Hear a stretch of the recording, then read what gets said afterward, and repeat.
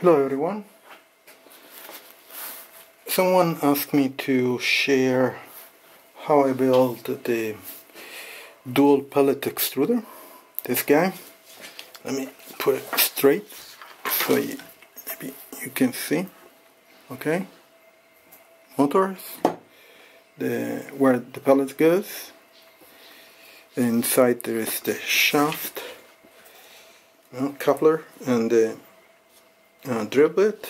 Uh, let me position the, the camera so you can see. Let me see if you can see everything. Yes. Okay. So basically, from from the motor that's up here, let me move. From the motor, there's a coupler and there is a drill bit that goes inside here and goes here so this is the the heater block that has two heaters. One goes on top and the other one goes on the side. Both have a temperature sensor. I think I use only one uh, because otherwise you have to have uh, two different boards and it's pretty complicated. Anyway uh, so this is a custom heater block and it's pretty, pretty much the same as a normal uh, heater block that you see in 3D printing. Um, so there is um, this aluminum, the, the tube where the drill bit goes in uh, is stainless steel and the nozzle is stainless steel. The reason is because I'm printing with the carbon fiber and so you need to have uh, strong material otherwise it will eat it up. So this is how it's made now and so it has a heater block with, with a resistor and a temperature sensor. So what I'm going to do is probably I need to test this to remove the heater block and have the nozzle connected directly to the to the um, stainless steel tube and I have an induction heating. So there there will be a coil uh, around the the um, the stainless steel uh, tube and this will have uh, a better heating uh, system. Why? Because with a heater block you heat the uh, the stainless steel tube and then you heat the the um, drill bit not because it's touching because this doesn't touch the the the um, the stainless steel tube but by air. So it heats up to a temperature that's most likely lower than the heater block and lower than uh, the um, stainless steel tube, which means you don't have a uniform melting of the uh, pellet. Instead, if you have induction, induction will heat anything that is uh, in between the coils. So imagine if, if I have a coil around the tube, the tube which is stainless steel, and the uh, drill bit will heat up um, at the same temperature. Um, stainless steel nozzle too, same thing. Okay, so this one will be removed.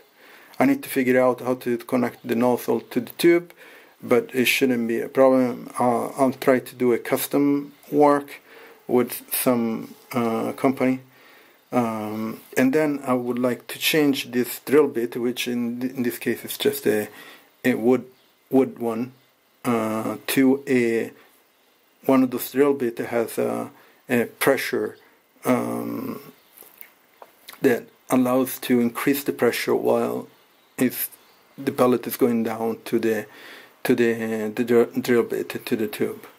Uh, that is more difficult. I already contacted some companies that they, they said they cannot do it. They want they don't want to do it. Uh, so I have to figure out that but for now I'll I'll do with this this tube coil and I have to figure out how to connect the nozzle to to the tube probably I'll, I'll leave a piece of uh, um, aluminum I don't know we'll figure out uh, but that way we'll have more uniform melting of the pellet around the the drill bit inside the tube. So how it's connected right now is just a clamp and this goes inside here. You see? There are two screws that go on the side of the clamp and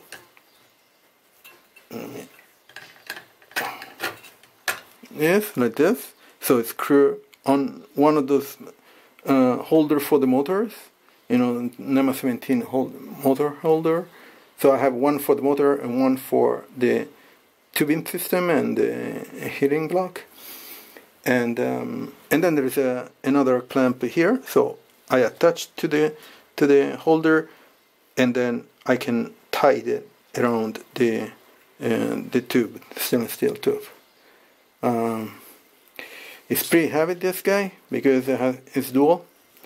Uh, so I will figure out how to reduce the the weight too.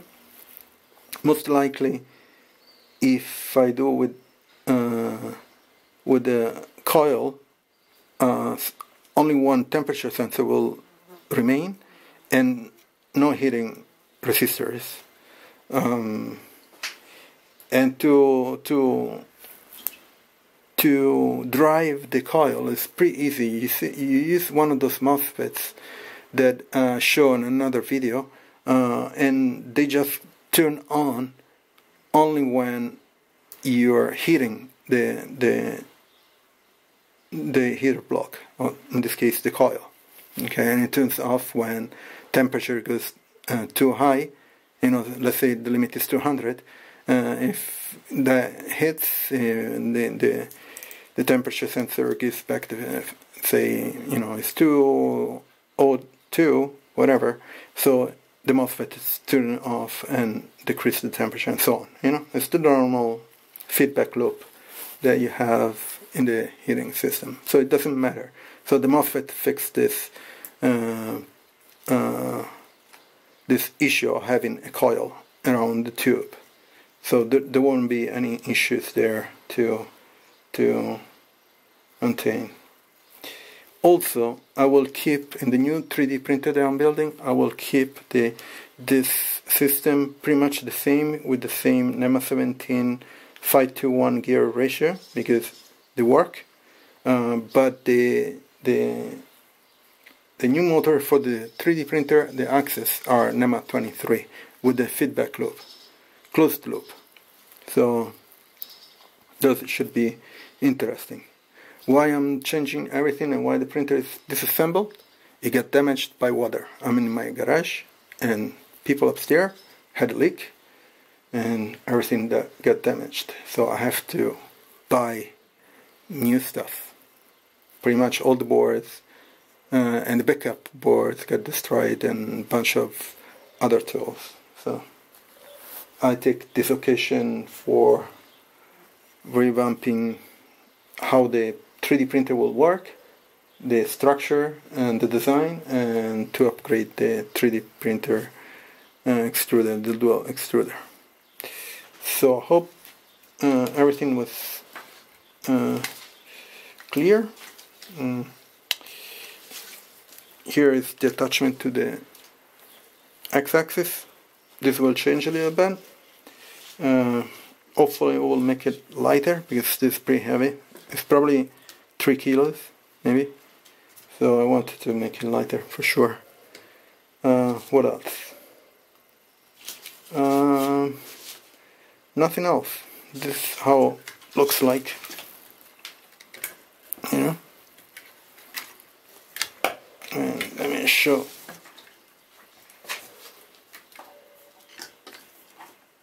So so the motor is and here where the pellet goes the coupler goes inside here. There's a small hole inside here, you see? That's the drill bit. So when the, the pellet goes inside here, goes in here, and goes down to the uh, steel pipe and um, that's it it goes inside the steel pipe